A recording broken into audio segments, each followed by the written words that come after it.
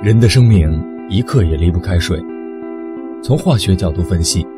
人体中的含水量约占体重的百分之五十五至百分之六十，婴儿更是高达百分之七十五以上。为了维持体内水的动态平衡，人类不仅要主动补水，并且要依靠皮肤的呼吸进行水分的保存。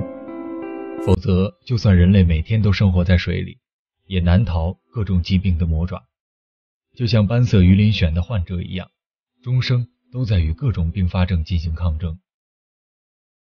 斑色鱼鳞癣是先天性鱼鳞病最严重的类型，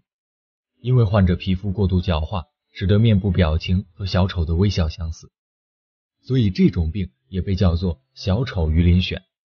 在过去，斑色鱼鳞癣婴儿的死亡率为百分之一百，他们一出生皮肤上就布满了厚厚的角质化斑块。由此引发的脱水、败血症、呼吸衰竭等各种并发症，随时都能杀死这些脆弱的小生命。